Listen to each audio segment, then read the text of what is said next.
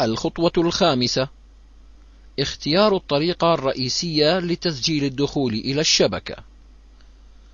بما أنه يمكن أن يرتبط الحاسب الذي يشغل ويندوز 98 بشبكات فيها خوادم تشغل أنظمة تشغيل أخرى مثل ويندوز XP أو ويندوز 2000 أو ويندوز NT أو نظام التشغيل Novell NetWare فإنه لا بد من تحديد طريقة تسجيل الدخول إلى الشبكة ليتمكن الحاسب من التواصل مع الحاسبات الأخرى على الشبكة.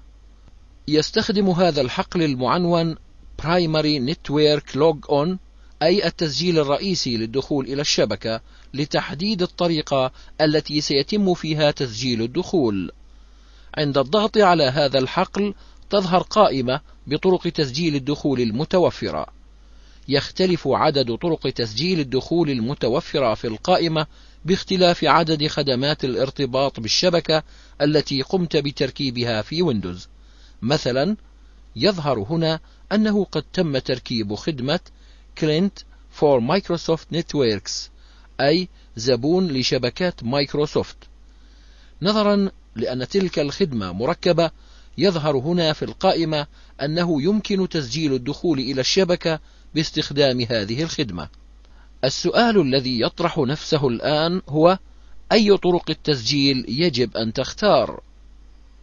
لتسهيل فهم الإجابة على السؤال، فإننا سنضع الإجابة في أبواب.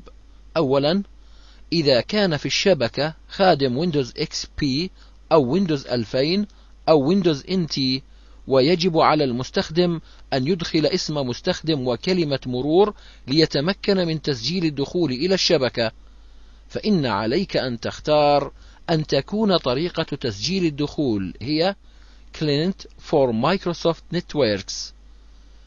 عند اختيار هذه الطريقة في تسجيل الدخول، سيظهر عند تشغيل ويندوز النافذة التالية، حيث يجب على المستخدم أن يقوم بإدخال اسم المستخدم في هذا الحقل،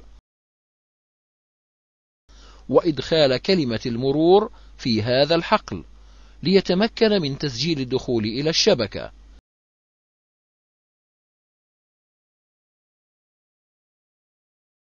حيث أنه بعد ضغط الزر أوكي سيقوم الخادم الموجود في الشبكة بمطابقة اسم المستخدم وكلمة المرور للتأكد من أنه يسمح للمستخدم بالدخول إلى الشبكة. ثانيا، إذا لم يكن في الشبكة خادم أو كان هناك خادم وليس هناك حاجة لإدخال اسم مستخدم وكلمة مرور لتسجيل الدخول إلى الشبكة. عندها اختر طريقة تسجيل الدخول إلى الشبكة لتكون Microsoft Family Logon. في هذه الحالة سيتم تسجيل الدخول تلقائيا ولن يطلب منك إدخال اسم مستخدم